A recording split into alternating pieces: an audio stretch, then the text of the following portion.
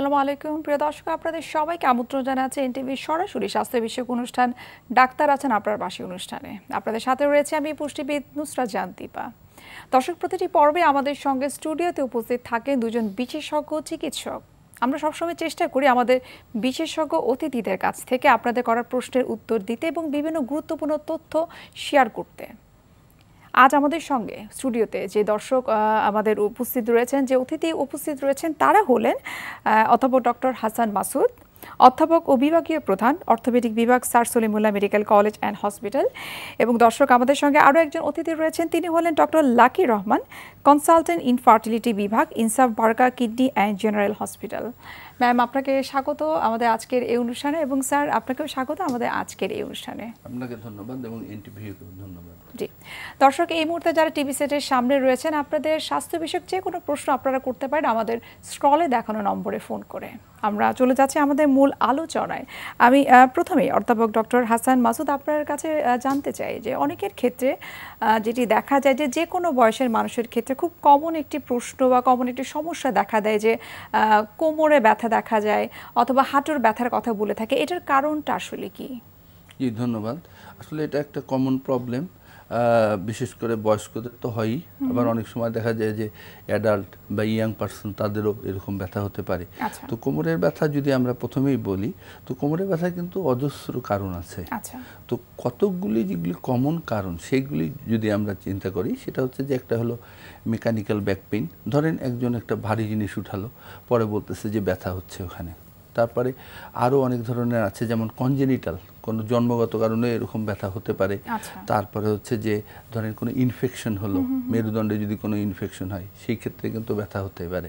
তারপরে আর কমন একটা কারণ হচ্ছে পিএলআইডি আমরা যেটা বলি যে প্রোলাপস লাম্বার ইন্টারভার্টিব্রাল ডিস্ক অর্থাৎ দুই মেরুদণ্ডের যে হাড়গুলি আছে যে কশিরুকা আছে দুই কশিরুকার মধ্যে যে ইন্টারভার্টিব্রাল ডিস্ক আছে সেটার আচ্ছা। থেকে যখন নরম জিনিস একটা জেলের মতো জিনিস যখন সরে যেয়ে নার্ভের উপরে চাপ দেয় তখন সেটাকে আমরা বলি যে PLID prolapsed lumbar intervertebral disc এটা শুধু লাম্বার রিজনে হয় না সার্ভাইকাল রিজনেও হতে পারে আচ্ছা। তারপরে ধরেন যে বিভিন্ন ইনফেকশনের কথা বললাম আর আমাদের এই সাবকন্টিনেন্টে টিবি টিবিও কিন্তু একটা কমন ইনফেকশন। এবং অনেকের ধারণা যে যক্ষাটা শুধু লাংসেই বোধ হয়। তা না যক্ষাটা আসলে শরীরের বিভিন্ন জায়গায় হতে পারে এবং বোন অ্যান্ড জয়েন্টসেও হতে পারে। তারপরে হচ্ছে বিভিন্ন ধরনের টিউমারেও কিন্তু এই ব্যথা হতে পারে। আচ্ছা। এবং আরও যেগুলি কারণ আছে রেফার্ড পেইন আছে ধরেন কারও একটা মানে ক্যান্সার হলো সেখান থেকে হাড্ডিতে যে ছড়াই গেল ক্যান্সারটা সেক্ষেত্রে হাড্ডিতেও তখন ব্যথা আচ্ছা। হবে। এবং অনেক সময় অনেকের ক্ষেত্রে কিন্তু দেখা যায় যে ওজন বেশি থাকার কারণে কিন্তু হয়ে থাকে। এবং অনেক সময় দেখা যায় যে তার যে কাজগুলো উনি করছেন টানা বসে থাকার কারণেও কিন্তু যেটা আমরা জানি যে অনেক সময় কোমর ডেফিনেটলি ওটা তো একটা বড় কারণ ইদানিং কারণে আরও ব্যথা বেশি দেখা যাচ্ছে আচ্ছা। যে অনেকেই ঘণ্টার পর ঘণ্টা মোবাইল দেখছেন অনেকেই ঘণ্টার পর ঘণ্টা ল্যাপটপে কাজ করছেন আচ্ছা। শুধু তাদের যে বডির যে স্পাইনের যে কার্ভেচার ওটা আচ্ছা, কিন্তু। ঠিক থাকে না যেটা থাকা দরকার। এবং ওবেসিটি যেটা বললেন যে। যদি এই কারণগুলো আমরা আরও বিস্তারিত জানব আপনার কাছ থেকে ডক্টর লাকি রহমান আপনার কাছে জানতে চাই আপনি একজন ইনফার্টিলিটি বিভাগে রয়েছেন। বন্ধাত্ব বলতে আসলে কি বোঝায় বা কখন কোন সময়টাতে আসলে বলা হয় যে আসলে সে বন্ধাত্ব জনিত সমস্যায় ভুগছেন? ধন্যবাদ আপনাকে ধন্যবাদ এনটিভিকে। আসলে বন্ধাত্ব একটি কমন প্রবলেম হয়ে গেছে এখন বাংলাদেশে। বিশেষ করে ইয়াং যে যারা বেবি নেওয়ার জন্য ট্রাই করছেন ইয়াং প্লাস হচ্ছে যারা একটু দেরি করে বিয়ে করেছে আচ্ছা। ক্যারিয়ারের কথা চিন্তা করছে তাদের মাঝখানে বন্ধাত্বের সমস্যাটি খুব আচ্ছা। প্রকটভাবে দেখা যাচ্ছে। তো বন্ধাত্ব বলতে আমরা বলব যে একজোড়া কাপল বা দম্পতি যখন লাগাতার এক বছর আচ্ছা। ওয়ান ইয়ার তারা উইদাউট এনি প্রোটেকশন কোনো কন্ট্রাসেপশন ছাড়াই লাগাতার সহবাস করছে নিয়মিত সহবাস করছে। যেমন সপ্তাহে দুই তিন দুই থেকে তিন দিন তারা সহবাস করছে কিন্তু কোনো গর্ভধারণে সম্ভব হচ্ছে সক্ষম আচ্ছা, হচ্ছে না। করতে পারছে কনসেপ্ট করতে পারছে না। ইভেন ফিমেলের বয়স যদি হ্যাঁ ওয়াইফের বয়স যদি থার্টি ফাইভের বেশি হয় সেক্ষেত্রে আমরা এই টাইমটাকে আরেকটু কমিয়ে এনেছি যে যে তারা যদি সিক্স মান্থের বেশি ট্রাই করে তখনই তারা বন্ধাত্ব ডেফিনেশনের মধ্যে চলে আসবে। আচ্ছা। তখনই তারা বন্ধাত্ব বিশেষজ্ঞ ডক্টরের পরামর্শ নেবেন। আচ্ছা ঠিক আছে। অসংখ্য ধন্যবাদ। আমরা আরও জানব বিস্তারিত এই বন্ধাত্ব সম্পর্কে। আমরা একটা কল নিয়ে নিয়েছি। আহ, দর্শক কে আছেন আমাদের সঙ্গে? আপনার নাম বয়স বলে আপনার প্রশ্নটি বলুন। হ্যালো জি দর্শক আমরা শুনতে পাচ্ছি। আপনার নাম বয়স বলে আমাদেরকে প্রশ্নটি বলুন। আসসালামু আলাইকুম। ওয়ালাইকুম সালাম। ম্যাডাম আমি লাকি ম্যাডামের সাথে একটু কথা বলতে জি আপনার প্রশ্নটি বলুন। আমার প্রশ্ন ম্যাম যে আমার ম্যাডাম অনেক দিন ধরে মানে বারো বছর হয়েছে বিয়ে হয়েছে কিন্তু আমাদের বাচ্চা কনসিভ হইতেছে না। আর ওর মাসিকটা হলে মাসিকটা বন্ধ হইতে চায় না। আচ্ছা। আচ্ছা ওনার কি মাসিক দেরি করে হয়? জি জি। অনেক দিন গ্যাপ গিয়ে যখন শুরু হয় তখন সব- বন্ধ হতে সময় লাগে তাই তো? জি জি জি। আর আপনারা কোনো ট্রিটমেন্ট নিয়েছেন ডক্টরের এর মধ্যে? অনেক অনেক ডাক্তারের এই যে মনে করেন নারায়ণগঞ্জ পপুলার অনেক ডাক্তার দেখাইছি। মাসুমা ম্যাডাম দেখাইছি পান্না ম্যাডাম দেখাইছি অনেক ডাক্তার দেখাইছি কিন্তু আচ্ছা, বন্ধ হইতেছে না। সিমেন্ট টেস্ট করা আছে? জি? আপনার আপনার কোনো টেস্ট করা আছে? জি আমারটা ঠিক ক্লিয়ার আছে। আচ্ছা। তো ওনার কোনো সমস্যা ধরতে পেরেছিল ডক্টররা? জি না ম্যাডাম ডক্টর বলছিল যে একটু হরমোনের সমস্যা কিন্তু ওষুধ দিতে অনেক কমছে কিন্তু মিন্সটা বন্ধ হইতেছে না। দুই এখন দুই মাস ধরে মিন্স হইতেই আছে কোনো বন্ধ হইতেছে না। ওজন কত? ওজন হলো হাইট কেমন? সাইজ হাইট মোটামুটি আর কি ফুট দুই তিন ইঞ্চি। আচ্ছা আচ্ছা ধন্যবাদ দর্শক আপনার কোশ্চেনের জন্য। তো আপনি যে সমস্যাটায় ভুগছেন বারো বছরের ইনফার্টিলিটি প্রাইমারি সাবফার্টিলিটিটা আগে কখনো কনসিভ হয়নি কিন্তু হরমোনের প্রবলেম তো এটা সাধারণত হয় পলিসিস্টিক ওভারিয়ান সিন্ড্রোম নামে একটি সমস্যা আছে যে মেয়েদের হরমোনাল প্রবলেম থাকে, ওজন বেশি থাকে পিরিয়ডে অনিয়ম থাকে বন্ধাত্বের সমস্যায় ভুগতে থাকে। তো এই সমস্যাটি ডায়াগনোসিস করার জন্য আপনি যেহেতু অনেক দিন থেকে ট্রিটমেন্ট করছেন আমার ধারণা ইতিমধ্যে তার ডায়াগনোসিস হওয়ার কথা। হরমোনাল প্রবলেম যেহেতু হয়তো বা আপনি জিনিসটা বুঝতে পারেননি। কিন্তু একজন ভালো বন্ধত্ব বিশেষজ্ঞের আন্ডারে ট্রিটমেন্টে গেলে আপনার এই ওনার আগে ওজন কমাতে হবে। যে ওজনের প্রবলেমটি ফাইভ ফিট টুতে আইডিয়াল ওয়েট হচ্ছে ফিফটি টু থেকে ফিফটি ফোরের মধ্যে আপনার ওজন আনতে হবে। ওজন কমাতে এই হরমোনাল ইমব্যালেন্সটা আসলে ঠিক হয়ে যাবে। এবং ওনার যে বন্ধাত্বের সমস্যাটির জন্য, ওনার ডিম্বাণু বড় করার জন্য কিছু মেডিসিন লাগবে। এই মেডিসিনগুলো দিলে ওনার ওভুলেশন ডিম্বাণু বড় বড় হবে এবং ওভুলেশন ট্রিগার করার জন্য আমরা কিছু মেডিসিন দিই। এই মেডিসিনগুলো দিলে আশা করি ওনার বন্ধাত্বের প্রবলেমটা সলভ হয়ে যাবে। এবং যদি ওনার মেডিসিনের মাধ্যমে এবং ইঞ্জেকশনের মাধ্যমে ডিম্বাণু ফুটানো সম্ভব না হয়, সেক্ষেত্রে আরেকটি ট্রিটমেন্ট আছে মডার্ন ট্রিটমেন্ট সেটা হচ্ছে ল্যাপারোস্কোপিক ওভারিন ড্রিলিং ল্যাপারোস্কোপি করে আমরা ওভারির ভিতরে যে ওনার যে হরমোনগুলো ইমব্যালেন্স আছে অ্যান্ড্রোজেন নামে একটা হাইপার অ্যান্ড্রোজেনিজম থাকে ওভারির সিস্টের ভিতরে হাইপার অ্যান্ড্রোজেনিক ফ্লুইড থাকে। সেই ফ্লুইডগুলোকে আমরা বের করে দিলে ওভারির ড্রিলিংয়ের মাধ্যমে ল্যাপারোস্কোপি করে এরপরে ওভুলেশন ইন্ডাকশনের মাধ্যমে ট্রাই করলে ইনশাল্লাহ উনি কনসিভ করবে আমি আশা করি। আচ্ছা ধন্যবাদ অর্থাৎ ওনার প্রপার ডায়াগনোসিসের দরকার রয়েছে। ম্যাম আপনাকে অসংখ্য ধন্যবাদ। আরেকজন দর্শক রয়েছেন। দর্শক আপনার নাম বয়স বলে আমাদেরকে প্রশ্নটি বলুন। হ্যালো আসসালামু আলাইকুম। আমার নাম মরিয়ম ইসলাম। জি। আমার বয়স হচ্ছে বিশ বছর। জি। আমি হচ্ছে ম্যামের একজন পেশেন্ট এবং ম্যামকে আমি লাস্ট চোদ্দ তারিখ হচ্ছে ম্যামের চেম্বারে যেয়ে দেখাই। জি। তো ওই সময় হচ্ছে ম্যাম আমাকে কিছু টেস্ট দিচ্ছিল। এগুলো আমি অনেক আগেই করছি। ম্যাম বলছে কোনো সমস্যা নেই শুধু মিষ্টি জাতীয় জিনিস থেকে মানা করছে। আমার আগে একবার এক কোটি প্রেগনেন্সি হয়েছিল আচ্ছা। তো আমার ফেব্রুয়ারি মাসে এক কোটি প্রেগনেন্সি হয়েছে কিন্তু এই লাস্ট হচ্ছে মার্চ এবং এপ্রিল এই দুই মাসে আমার পিরিয়ড ভালো মানে ভালোভাবে হচ্ছে রেগুলার আচ্ছা। কিন্তু এই মাসে হচ্ছে যে আমার পিরিয়ড সতেরো তারিখ হওয়ার কথা ছিল কিন্তু এখন হচ্ছে না। আচ্ছা। আচ্ছা ধন্যবাদ দর্শক আপনার জি বলেন। তো ম্যাম আমাকে নোবেল অন লাইফ খাইতে দিচ্ছে কিন্তু এইটা তো পিরিয়ডের প্রথম দিন থেকে খাইতে হবে। এখন পর্যন্ত আমার পিরিয়ড হয় না। এখন ম্যাম যদি কোনো ওষুধ দিচ্ছে জি, দর্শক, আপনাকে অসংখ্য ধন্যবাদ ম্যাম জি, ধন্যবাদ দর্শক। আপনার, আপনি প্রথমে যে কাজটি করবেন, যেহেতু আপনার দুই দুই মাস আগে একটা একটপিক প্রেগনেন্সি হয়েছিল, আগে কনসিভ হয়েছে কিনা সেটা আগে টেস্ট করে নেবেন। বাসায় একটি সিম্পল একটি প্রেগনেন্সি টেস্ট করে দিয়ে দেখতে পারেন যে আপনার কনসিভ হয়েছে কিনা প্রেগনেন্সি হয়েছে কিনা। যদি নেগেটিভ আসে, সেক্ষেত্রে নর্মেন্স একটি ট্যাবলেট আছে নর্মেন্স ফাইভ মিলিগ্রাম সকালে দুটো রাতে দুটো পাঁচ দিন খাবেন। পাঁচ দিন খেলেই আপনার পিরিয়ড হয়ে যাবে। পিরিয়ড হলে এরপরে আপনি পিল যেটি দিয়েছিলাম সেই পিলটি শুরু করে দিবেন। আচ্ছা। ম্যাম আপনাকে অসংখ্য ধন্যবাদ। স্যার হাসান মাসুদ আপনার কাছে চলে যাই। আপনার কাছে প্রথমে জানতে চাই জয়েন্ট রিপ্লেসমেন্ট অনেকের ক্ষেত্রে হয়ে থাকে এবং সেটা কিন্তু আমার কাছে মনে হয় যে ট্রিটমেন্টের অনেক পরের একটি ধাপ। তো ইনিশিয়াল পর্যায়ে আপনারা আসলে কী ধরনের ট্রিটমেন্ট করে থাকেন যাদের আসলে হাড়ের রিলেটেড কোনো সমস্যা যখন হয়ে থাকে? জি ধন্যবাদ।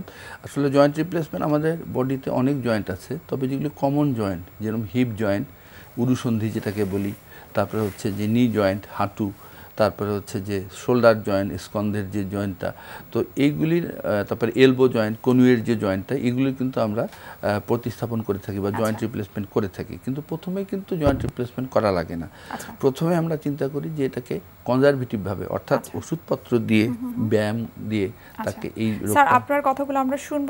একজন দর্শক আমাদের সঙ্গে যুক্ত হয়েছেন। আপনার কাছে ফোনটি এসেছে। আহ, দর্শক কে আছেন আমাদের সঙ্গে? আপনার নাম বয়স বলে প্রশ্নটি বলুন। আমি মনির বলছিলাম স্কার্ডুম থেকে। জি। আমার বাগ্নির দুইটা হিপ জয়েন্টে নষ্ট।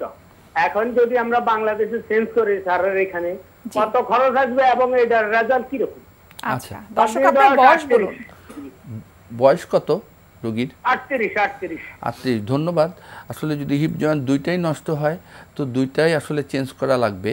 তবে এই ক্ষেত্রে হচ্ছে যে এই হিপ জয়েন্টগুলি আসলে তো এগুলি আমেরিকা, ইংল্যান্ডের তৈরি এবং এগুলির একটু দাম আছে যেরকম যে ইয়াং বয়সে, যেমন ওনার বয়স আটত্রিশ, সেক্ষেত্রে আমরা যেটা নন সিমেন্টেড সেটাই লাগাই। তো এই নন সিমেন্টেডের মোটামুটি দেড় লাখ হচ্ছে যে ইমপ্ল্যান্ট যেটা আমরা লাগাবো যে জয়েন্টটা সেইটারই দাম। আর আনুষঙ্গিক খরচ আছে। এখন হচ্ছে এটা আপনার উপর নির্ভর করবেন।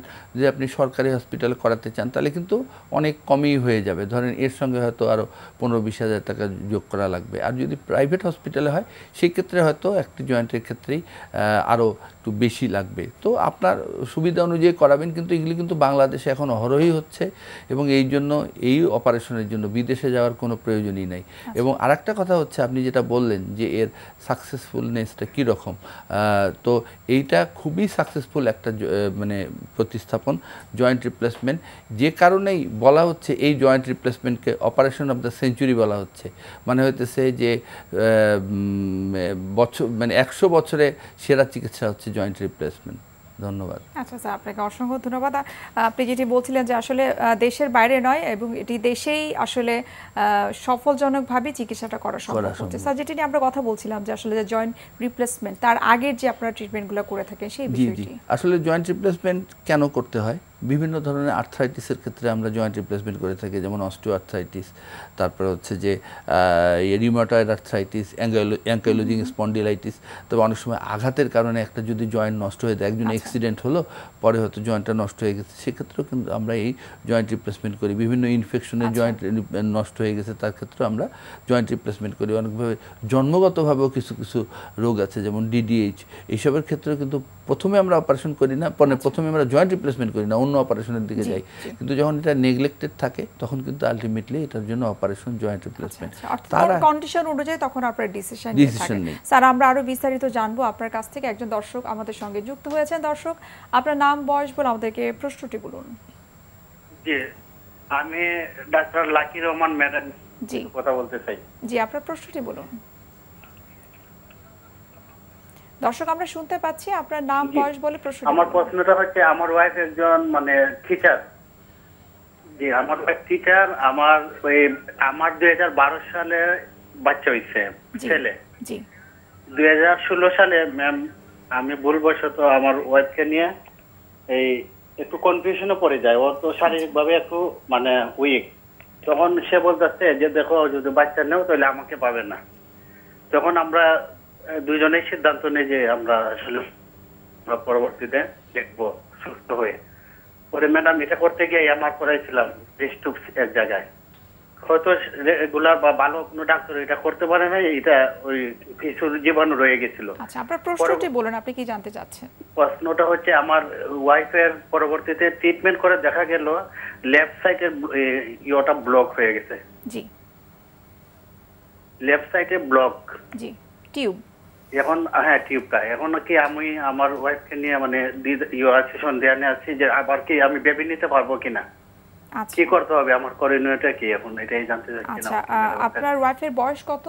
বয়স thirty five madam thirty five জি দর্শক আপনাকে অসংখ্য ধন্যবাদ। এর এর মাঝখানে বেবি নেওয়ার জন্য ট্রাই করেছেন আপনারা? ট্রাই করছি ম্যাডাম এই অনেক হরমোনের ইনজেকশন অনেক কিছু দিছে। বিভাগীয় প্রধান উসমানের ওনাকে দেখাইছিলাম নাসিমা আক্তার ম্যাডামকে কতদিন মেডিসিন নিয়েছেন? যে প্রায় বছরখানেক হয়ে গেল পরবর্তীতে এখন রেজাল্ট আসে নাই।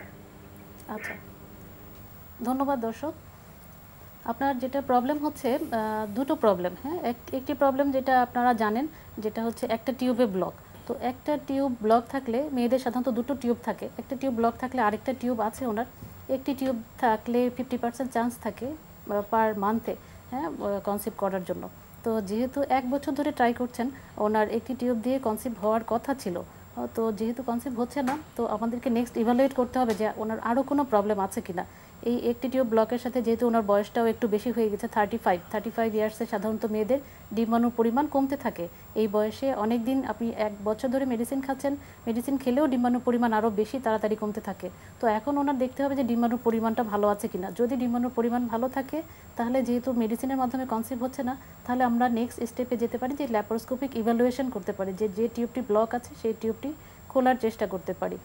আরেকটা হচ্ছে যে যদি আপনারা এই ল্যাপারোস্কোপি যদি ব্যয়বহুল ট্রিটমেন্ট ল্যাপারোস্কোপিক ইভ্যালুয়েশনে যদি আপনারা না যেতে পারেন, সেক্ষেত্রে একজন ভালো বন্ধাত্ম বিশেষজ্ঞ ডক্টরের পরামর্শ নিয়ে ইন্টাইট্রেন ইনসেমিনেশন একটি পদ্ধতি আছে, যেখানে একটি টিউব ব্লক থাকলে আরেকটি টিউবের মাধ্যমে আমরা সিমেন্টটি টিউবের কাছাকাছি দিয়ে দিতে পারি। একটি টিউবের মাধ্যমে ইউটারাসের ভিতরে টিউব যে টিউবটি ওপেন আছে, সেই টিউবের কাছাকাছি দিয়ে দিলে ইন্টাইট্রেন আইও এর মাধ্যমে আপনারা বেবি নেওয়ার জন্য ট্রাই করতে পারেন।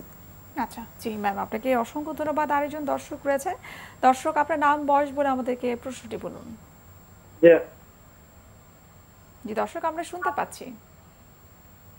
আমার নাম মোহাম্মদুল্লাহ হোসেন জি জি জি বয়স প্রায় সাতত্রিশ বছর। আমার সমস্যা হচ্ছে আমি এখন কনস্ট্রাকশন কাজ করি বুঝছেন? কনস্ট্রাকশন কাজ করতে যাইয়া আমার কিছুদিন আগে আমার কিডনিতে একটু সমস্যা ছিল। ডাক্তার দেখাইছি ডাক্তার দেখানোর পরে চিকিৎসা নিচ্ছি একটু ভালো ছিল। এখন আমার সমস্যা হচ্ছে পিছনে যে মেরুদারাটা ওই মেরুদারার মধ্যে প্রচুর ব্যথা করে কাজ করতে গেলে। আচ্ছা। বুঝছেন? মেরুদণ্ডের মধ্যে ব্যথা করে আবার ডান সাইডে এই নাভির পাশাপাশি ডান সাইডে একটু কামড়ায় আঙ্গা দিয়ে ধরে। একটু গাই দিয়ে ধরে এরকম লাগে আমার কাছে বুঝছেন? আচ্ছা কত বছর যাবত এই আমার এই সমস্যাটা তিন চার বছর যাব। তিন চার বছর যাবত আপনার ওজন এবং উচ্চতাটা বলুন। আমার উচ্চতা হচ্ছে পাঁচ ফুট দুই ইঞ্চি। আমার ওজন বাষট্টি কেজি। জি স্যার আপনার কোনো প্রশ্ন আছে? আপনার। বয়স কত বললেন? বয়স সাতত্রিশ বছর। সাতত্রিশ বছর আচ্ছা। ধন্যবাদ।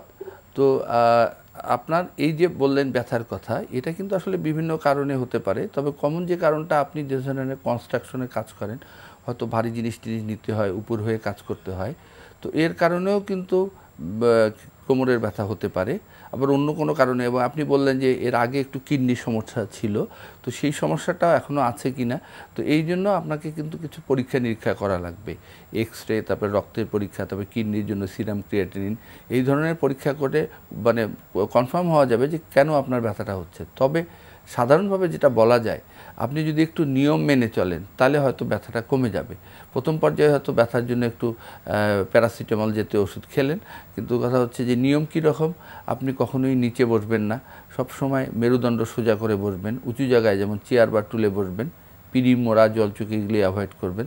তারপরে হচ্ছে যে পায়খানা পেশাবটা হাই কমোডে চেষ্টা করবেন, তবে হাতে কোনো ভারী জিনিস নেবেন না। এই যদি নিয়মগুলি মেনে চলেন তাহলে কিন্তু আপনি সহজেই ব্যথাটা মানে অ্যাভয়েড করতে পারবেন ব্যথা ঠিক হয়ে যাবে। এরপরেও যদি ঠিক না হয় তাহলে কিন্তু আপনার কিছু পরীক্ষা নিরীক্ষা করাতেই হবে। অনেক সময় এমআরআই পরীক্ষাও লাগে। তো এসব করে তখন কারণটা নির্ণয় করতে হবে এবং সেই অনুযায়ী চিকিৎসা নিতে হবে। দর্শক কে আছেন আমাদের সঙ্গে? আপনার নাম বয়স বলে আপনার প্রশ্নটি বলুন। আমার নাম মানে আমার ওয়াইফের নাম। জি। বয়স সাতাশ। জি। আর আমার ওয়াইফের সমস্যা আমরা সাত বছর বিয়ে করছি কোনো বাচ্চা কাচ্চা হয় না। আচ্ছা। ডাক্তার দেখেছে ওনার হচ্ছে ওভারিতে পানি টিউমার। জি। এ নিয়ে আমরা কি করতে পারি ম্যাডাম একটু যদি সাজেশন করতেন। আচ্ছা আপনি আমাদের সঙ্গে ওজন থাকুন। বেশি। ম্যাম আপনার কোনো প্রশ্ন আছে? ওজন বেশি ওজন কত?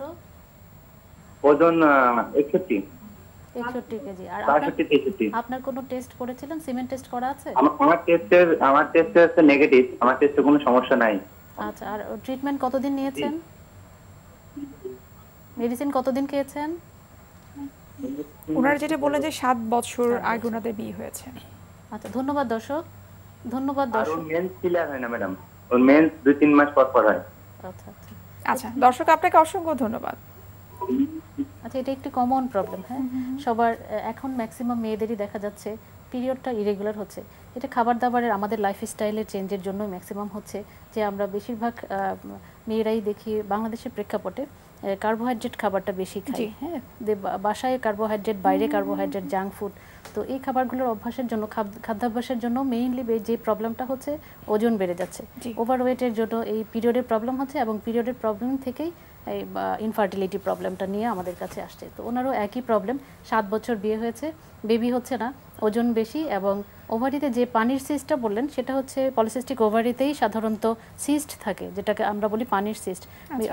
ছোট ছোট যে ফলিকলগুলো প্রতি মাসে যে ডিম্বাণুগুলো বড় হওয়ার কথা ডিম্বাণুগুলো বড় অল্প অল্প করে একসাথে অনেকগুলো ডিম্বাণু বড় হয় কিন্তু কোনো ডিম্বাণুটাই ভালো করে বড় হচ্ছে না। এবং আচ্ছা। ওটাই যখন ওভুলেশন হয় না ডিম্বাণুটা ফোটে না ওভুলেশন হয় না তখন একটা সিস্ট আকার ধারণ করে। আচ্ছা। তো এই সিস্টটা নিয়ে খুব বেশি ভয় পাওয়ার কিছু নেই তো যেহেতু পলিসিস্টিক ওভারি সমস্যাটি হচ্ছে ডিম্বাণু না ফোটার সমস্যা একটু অল্প খুব ভালো মনিটরিং করে যদি একটু ওভুলেশন ইন্ডাকশন মেডিসিনের মাধ্যমে ভালো মনিটরিং করে এক দুই সাইকেল আমরা ট্রাই করলেই খুব আচ্ছা। ভালো রেসপন্স করে এই আচ্ছা, আচ্ছা। পেশেন্ট এবং ওনার বয়সও কিন্তু ভালো টোয়েন্টি সেভেন 27 খুব ভালো বয়স এবং খুব তাড়াতাড়ি যদি আপনারা খুব ভালো মনিটরিং এর মাধ্যমে একটু ধৈর্য ধরে ট্রিটমেন্টটা করেন অনেক পেশেন্টের এক দুই সাইকেলেই কনসেপ্ট হয়ে যায় আবার অনেক পেশেন্টের ছয় ছয় সাইকেল এক বছরও লাগে অনেক পেশেন্টের এই জন্য আপনার একটু ধৈর্য ধরে ট্রিটমেন্ট করলে ইনশাল্লাহ কনসেপ্ট করবেন আসলে আচ্ছা ম্যাম আপনাকে অসংখ্য ধন্যবাদ। স্যারের কাছে জানতে চাই আপনি বলছিলেন যে পিএলআইডির কথা যে অনেকের ক্ষেত্রে কোমর ব্যথা হয়ে থাকে অনেক সময় দেখা যায় পিএলআইডি ডায়াগনোসিস হয়।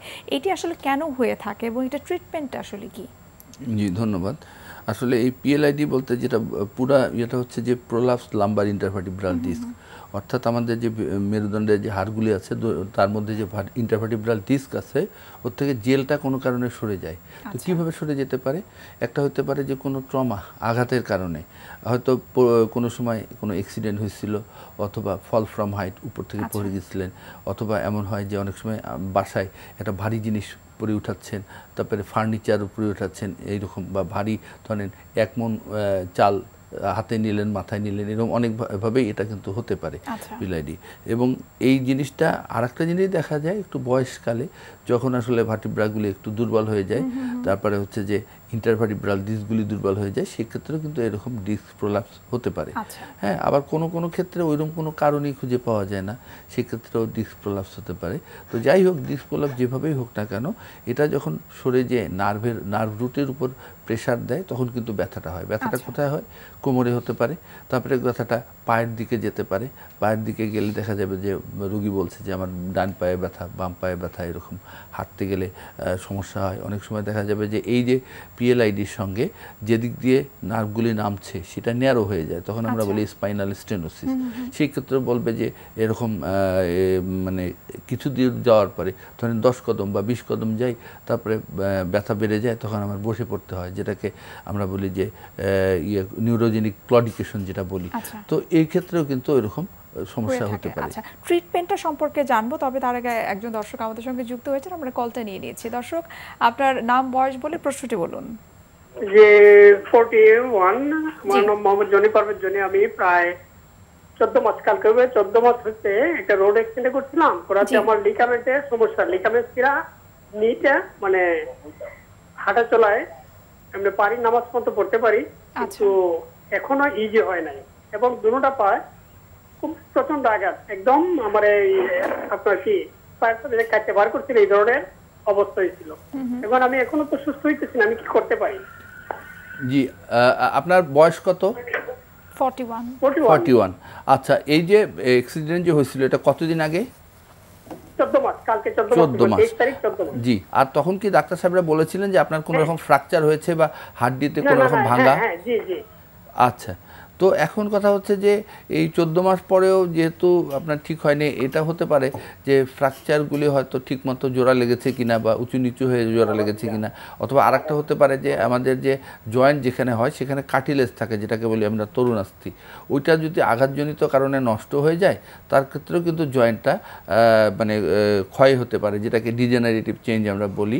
তো এইসব ক্ষেত্রে প্রথমেই হচ্ছে যে লাইফস্টাইল মডিফিকেশন অর্থাৎ যেটা আমি একটু আগেই বললাম, যে ওই যে নিচে বসা যাবে না, উপর হয়ে কাজ করা যাবে না, ভারী জিনিস নেওয়া যাবে না, সিঁড়িতে উঠানামা করা যাবে না, এগুলি একটু মেনে চলেন, দেখেন যে ব্যথাগুলি ঠিক হয় কি না না হলে আসলে আরও অনেক ধরনের চিকিৎসাই আছে, এর সঙ্গে আমাদের ফিজিওথেরাপি দেওয়া যায়। তারপর হচ্ছে যে অনেক সময় অপারেশন বিভিন্ন ধরনের অপারেশন আছে ইনক্লুডিং জয়েন্ট রিপ্লেসমেন্ট তো ওগুলি ওগুলি আসলে বিশেষজ্ঞের মতামত নিলে ওনারা আপনাকে একটা গাইড দিতে পারবেন। জি স্যার আপনাকে অসংখ্য ধন্যবাদ। আরেকজন দর্শক রয়েছেন। দর্শক আপনার নাম বয়স বলে আপনার প্রশ্নটি বলুন। আসসালামু আলাইকুম। ওয়ালাইকুম সালাম। আমি লক- ম্যামের সাথে কথা বলব। জি আপনার প্রশ্নটি বলুন। পেশেন্ট জি। বয়স চৌত্রিশ বছর জি। শাহানা। জি। আর কিছুদিন আমার বিশ সপ্তাহ চলতেছে কিছুদিন থেকে আমার কুচকিতে ব্যথা এবং ওই যে দুই হাঁটু থেকে জয়েন্টে অনেক পেইন ম্যাম আমাকে ক্যালকার দিয়ে দিয়েছে ওটা আমি দুইটা করে খাচ্ছি। জি। তারপরেও ব্যথাটা কমছে না। আর গ্যাসের ব্যথার জন্য আমি ম্যাম আমাকে সার্জেল দিয়েছেন। ওটাও দুইটা করে খাচ্ছি। কিন্তু মনে হচ্ছে দুধ খেলে অনেক বেশি অ্যাসিডিটি হচ্ছে। খুব কষ্ট হচ্ছে। এখন আমি কি করতে পারি? আচ্ছা ম্যাম আপনার প্রশ্ন আছে? ধন্যবাদ শাহানা। আপনার টোয়েন্টি উইকস প্রেগনেন্সি চলছে। তো যেহেতু টোয়েন্টি উইকস প্রেগনেন্সিতে আমরা সেকেন্ড ট্রাইমেস্টারে আয়রন ক্যালসিয়াম দিয়ে থাকি। আয়রন ক্যালসিয়াম খেলে সাধারণত একটু গ্যাসের প্রবলেমটা বেশি হয়। তো অ্যাসিডিটির প্রবলেম বেশি হলে আপনি কিছুদিন আয়রন ট্যাবলেটটি অফ করে রাখতে পারেন। সাত সাত থেকে চোদ্দ দিন। এরপরেও যদি অ্যাসিডিটির প্রবলেম বেশি হয়, আপনি মেডিসিনটি অ্যাসিডিটির জন্য অ্যান্টি আলসারেন যে মেডিসিনটি দিয়েছিলাম, ওটি একটু চেঞ্জ করে খেতে পারেন। অন্য, ভালো অন্য কোনো অন্য কোনো কোম্পানির মেডিসিন খেতে পারেন। সাথে একটু অ্যান্টাসিড সিরাপ খেতে পারেন। সিরাপ গ্যাভিসল দুই চামচ করে তিন বেলা এটিকে ট্রাই করতে পারেন। আর যে প্রবলেমটি হচ্ছে আপনার একটু হাঁটুতে ব্যথা হচ্ছে। প্রেগনেন্সিতে সাধারণত হাঁটুতে ব্যথা, কোমরে ব্যথা, এগুলো একটু প্রবলেম হয় সাধারণত। তো আমরা সাধারণত পেইন কিলার তেমন একটা দিতে চাই না। যদি অতিরিক্ত পেইন হয় সেক্ষেত্রে আপনার আপনি প্যারাসিটামল ট্যাবলেট খেতে পারেন। যদি অতিরিক্ত পেইন হয় একটি প্যারাসিটামল খাবেন যখন বেশি ব্যথা থাকবে এর চেয়ে বেশি না। ক্যালসিয়াম ট্যাবলেটই চলবে আপনার।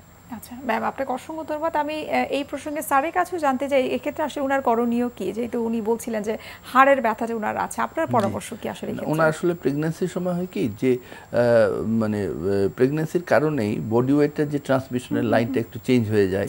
তারপরে ওয়েটটা গেইন হয় ওয়েট গেইনের জন্য নিয়ের উপরে প্রেশার পড়ে। তো এইসব কারণে পেইন হচ্ছে। আচ্ছা। তো এটা হচ্ছে যে ওনার এইগুলিতে মানে সবচেয়ে সমস্যা হচ্ছে যে আমরা কোনো ওষুধ দিতে পারি না। আচ্ছা, আচ্ছা। আমাদের ওই মানে দৌড় হচ্ছে মোল্লার দৌড় মসজিদ পর্যন্ত। প্যারাসিটামল দেই আর হচ্ছে একটা গ্যাস্ট্রিকের ওষুধ দেই। আর একটু বলি যে পশ্চাৎটা যাতে মেনটেন করতে পারে। ন্যাচারাল প্রসেস একটা।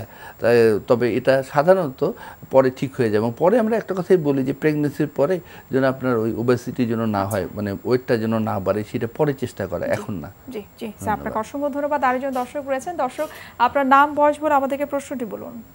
আমার নাম মোহাম্মদ শহীদুল ইসলাম আমার বয়স উনপঞ্চাশ। আমার খাপারের দিক থেকে ব্যথা করে। কিন্তু বলছিল নিউমোনিয়া হচ্ছে তারপর আমি ওষুধ খেয়েছি। জি। আর শুয়েও দিয়েছি তিনটা। কিন্তু আমার ব্যথাটা কমতেছে না। দুই হাত উঁচু করলেও ব্যথা করে। আচ্ছা। আচ্ছা দর্শক আপনাকে অসংখ্য ধন্যবাদ। স্যার আপনার কোনো প্রশ্ন আছে? যে আপনার মানে দুই স্কন্ধে ব্যথা হচ্ছে তাই তো? মানে হ্যাঁ। হাতের জয়েন্টে তাই তো? জি। আচ্ছা। তো এইটা আসলে মানে আপনি কি হাত উপরে উঠাতে পারেন না? আচ্ছা আপনার বয়স কত? ফর্টি নাইন ফর্টি নাইন আচ্ছা। তো আপনার যেটা প্রথমেই যেটা করতে হবে আসলে এর জন্য একটু এক্স রে এবং একটু রক্ত পরীক্ষা করে দেখতে হবে আসলেই কি কারণে হয়েছে। তবে অনেক সময় এইসব ব্যথা কিন্তু ফিজিওথেরাপি বা ব্যায়ামের মাধ্যমেই ঠিক হয়ে যায়। আর সেটা যদি না হয়, তখন একটু কঠিন পরীক্ষা করা লাগে এমআরআই এবং আরও কিছু রক্তের পরীক্ষা করে আমরা সেই অনুযায়ী এটা চিকিৎসা করে থাকি। কিন্তু প্রথমে একটু কিছু ব্যায়াম করলেই অনেক সময় এই ব্যা- ব্যথাটা ঠিক হয়ে যায়। আপনাকে এই জন্য একজন বিশেষজ্ঞের পরামর্শ নিলে ভালো হয়। আচ্ছা স্যার আপনাকে অসংখ্য ধন্যবাদ। ম্যাম আপনার কাছে জানতে চাই আসলে যে এই যে বন্ধাতার কথা আপনি বলছিলেন এই বন্ধাতাটা আসলে কেন হয়? আচ্ছা ব- কারণ খুঁজতে গেলে আমরা দেখি যে সব সময় মেয়েদেরকে বেশি দায়ী করা হয়। তো আসলে বন্ধাত্বর জন্য ওয়াইফ এবং হাজবেন্ড দুজনেই কিন্তু সমানভাবে দায়ী। ফিফটি ফিফটি কারণ ফিফটি পার্সেন্ট মেল এবং ফিফটি পার্সেন্ট ফিমেল দায়ী। আর টেন পার্সেন্ট হচ্ছে কম এবং এই পার্সেন্টেজটা কিন্তু আসলে অনেকেই জানে না যে আসলে হ্যাঁ, পুরুষদের ক্ষেত্রেও কিন্তু সংখ্যাটা অনেক বেশি। সংখ্যাটা অনেক বেশি। ইদানিং আরও বেশি পাচ্ছি আমরা। গত লাস্ট ফোর ইয়ার্স আগে যেরকম পেতাম মেল মেল ইনফার্টিলিটি এখন আরও রেট বেড়ে গিয়েছে।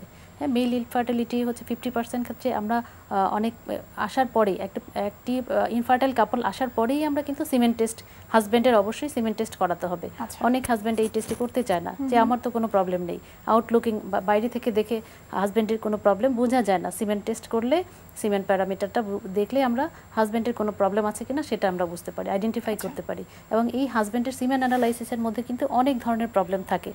সেটা হচ্ছে যে হাজব্যান্ডের অনেক সময় শুক্রাণু থাকে না সিমেনে একদম জিরো থাকে। আচ্ছা। যেটাকে বলি অ্যাজোস্পার্মিয়া হ্যাঁ সেটি হচ্ছে এক ধরনের প্রবলেম আরেকটি হচ্ছে যে শুক্রাণুর মধ্যে সিমেনের মধ্যে অনেক ধরনের প্রবলেম থাকে সেটা হচ্ছে শুক্রাণুর কাউন্ট সিমেনের কাউন্ট থাকে। Semen count normally fifteen million per M থাকার কথা। আচ্ছা, আচ্ছা। তো এর যদি কম থাকে হ্যাঁ এর কম থাকলে সেটাকে আমরা বলি অলিগোস্পার্মিয়া আচ্ছা। হ্যাঁ তার অনেক অনেক কারণে এই সিমেন্ট কাউন্টটা কমে যেতে পারে। আরেকটা হচ্ছে যে সিমেন্টের গতিশীলতা হ্যাঁ গতিশীলতা যদি at least forty percent for rapid forward progression যদি থাকে সেটা নর্মাল তো ফর্টি পার্সেন্টের কম যদি সে সিমেন্টটা মুভমেন্ট করে ডিম্বাণুর কাছে যেতে হবে তাকে।